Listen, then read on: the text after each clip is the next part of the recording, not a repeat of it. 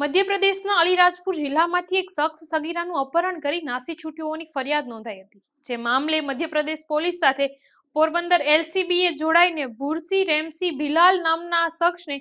વડાળા ગામના bus stand નજીકથી સગીરા સાથે ઝડપી લઈ આગળની કાર્યવાહી હાથ ધરી હતી